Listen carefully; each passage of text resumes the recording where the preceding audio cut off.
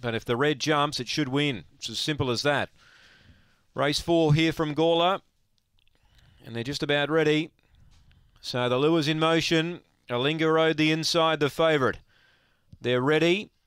Racing, Alinga Road jumped. It's going to hold the lead, so that should be curtains for the others. It led by three or four. Elsie's Choice second. Innocence around the outside running on. Then came Lord Zanti, Our Boy Tomo, and Miss Breakout. The leader, Alinga Road, led by four or five. He's normally pretty strong too. Second placing is Innocent, holding down that spot. They're well clear of Our Boy Tomo, but Alinga Road's going to be too good here. Innocent certainly took ground off it late. It got second. Our Boy Tomo third. Lord Zanti fourth then Miss Breakout, and Elsie's Choice last in. It's a double for Lauren Harris. One Alinga Road. It was pretty painless if you took the shorts, jumped, led.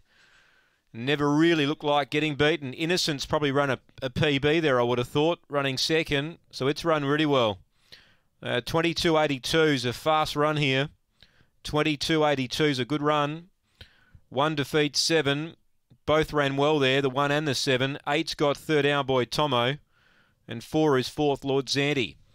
It's 1784, 2282 the time. Alinga Road brings up a double for Lauren Harris. Two and a half by five. The margins, two and a half by five. 1784 after race number four.